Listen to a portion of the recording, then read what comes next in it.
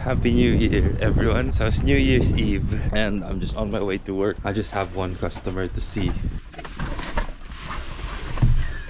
So this saying, Rome wasn't built in a day. I've been finding myself replaying that saying in my head past few weeks. So I thought it's a good way for me to start 2024.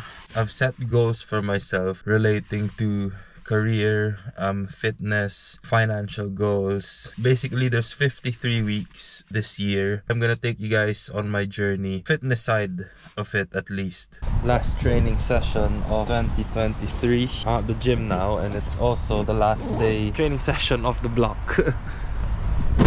So after this, we'll be starting a new block so it all works out perfectly. I'm not really gonna show you guys any more of the training today because it's pretty much the same as last week, the Christmas Eve ones. I'm sitting at around 120 kilos body weight right now, which is, to be honest, not where I wanted to be at this point.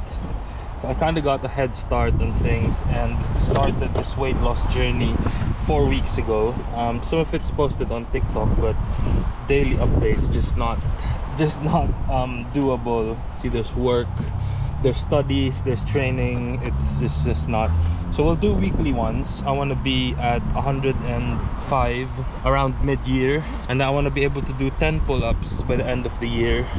I want to squat 300 which I've done before but it was at 126 kilos 129 kilos body weight. Um so to bring that to 105 that would be really nice. I want to bench 160 and deadlift 265 this year. By middle of the year, I also want to qualify for British Nationals. For the 120 class, which I competed in November, the qualifying total is 700 kg. Missed it by 15 kilos. That last deadlift would have qualified me for Nationals, but that's fine. That wasn't really the goal of that meet anyway. For 105 kilo weight class that should be a lower total. Yeah that's the goal for mid-year and then obviously the numbers i'll hit it later on or who knows maybe in nationals itself yeah so those are basically my goals for 2024 let me know what yours are this is just a message to all the people who are looking to get into the gym but are scared or anxious about going to the gym you know what just do it i've seen already like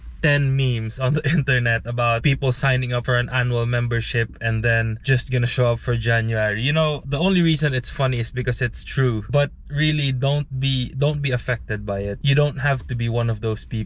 You could be one of those people who sign up in January and then completely different person, you know, physically or or health or fitness wise at the end of the year. So it's it all depends on perspective. Yeah so for the regular gym goers let's let's be nice to these newbies you know? Let's be like don't judge them don't make fun of them. Um just let's give them a chance because we were them once so that's where i'm gonna end the video. Have to get ready for tonight. And then tomorrow we start the grind. This is the first out of 53 that's another one of my goals really to be more consistent uploading here on youtube. So bear with me and i'll see you guys next week. Happy new year